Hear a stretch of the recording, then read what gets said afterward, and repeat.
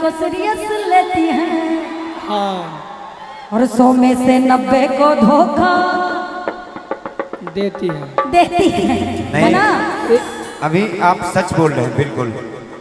सही बोल रहे हैं। इधर आइए। हर सिम फोर जी नहीं एक होती मिनट एक मिनट। जितने हमारे कैमरा वाले बड़े भैया हैं आदरणीय माननीय सम्मानित जितने भी हमारे कैमरा वाले भैया हैं। सुश्री लेकिन अभी लड़की के बारे में आप बोले हैं कि लड़की भी प्यार को सीरियस लेती है सौ में सब धोखा देती है सही बोले।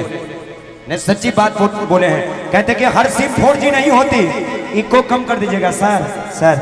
कि हर सिम फोर जी नहीं होती और हर लड़की रिद्धि और सिद्धि नहीं होती। कि हर सिम फोर जी नहीं होती और हर लड़की रिद्धि और सिद्धि नहीं होती। इसलिए किसी एक पे अपना किस्मत बर्बाद मत कीजिए क्योंकि ये कुत्ते की वो दुम है जो कभी सीधी नहीं होती। अच्छा ये बताओ। ओए रुको पहले। यार लड़की तो मैं भी हूँ। आप ये मुझे बोल रहे थे कि उनको बोल रहे थे। ना ना आप भी लड़की के बारे में बोल रहे थे ना। हाँ आप बोल रहे थे लेकिन अब इतना भी हमारी बिरादरी की बेजती मत करिए। यहाँ की सीता मैया भी थी यार क्या बात है इतिहास रच गई। एक सीता मैया के लिए जोरदार ताली हो जाए। देखो भैया मतलब ज़रूरी ठीक है बोलिए। वही तो मेरा अचानक दिमाग काम कर गया कि लड़कियाँ कुत्ते के धक्के से हो सकती हैं यार। लड़कियाँ होती इतनी। बेइज्जती। है ना भैया। लड़की अगर पास हो तो होटल का बिल। और लड़की अगर दूर हो तो फ़ोन का बिल।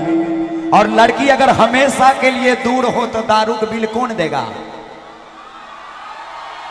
क्योंकि क्योंकि मैंने एक लड़की को जो ही कहा दिल रुबा उसने कहा कुछ नहीं बेटा पहले बैलेंस भिजवा।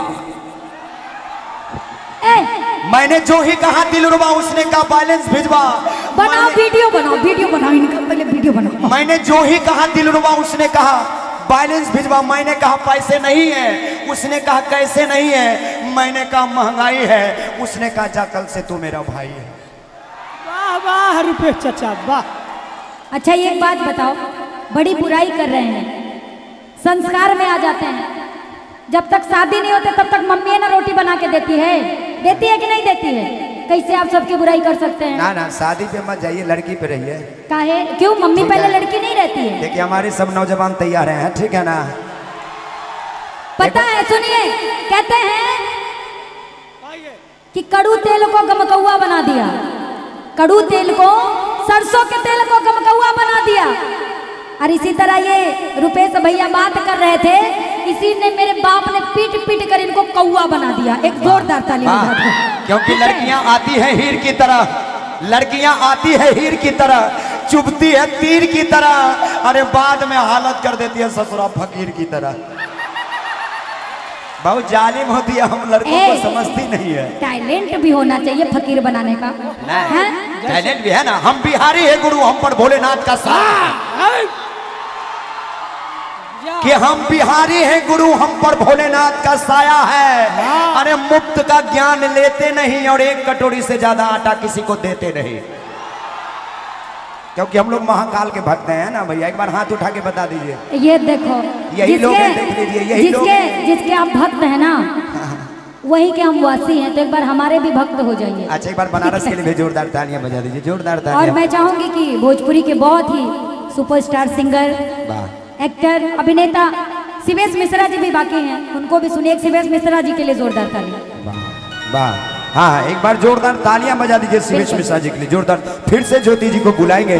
बहुत अच्छे अच्छे गीत जो कि यूट्यूब के माध्यम से इनके वायरल हैं जो भी आपके बीच सुनाए जाएँगे। लेकिन चलिए उससे पहले कहते हैं कि अगर हो प्यार का मौसम तो प्यार लिखेंगे।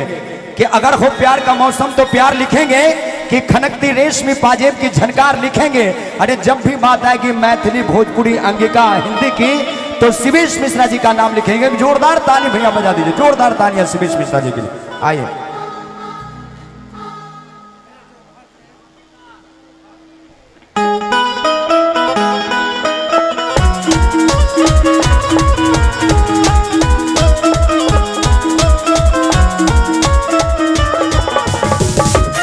जोरदार तालियाँ होनी चाहिए सबों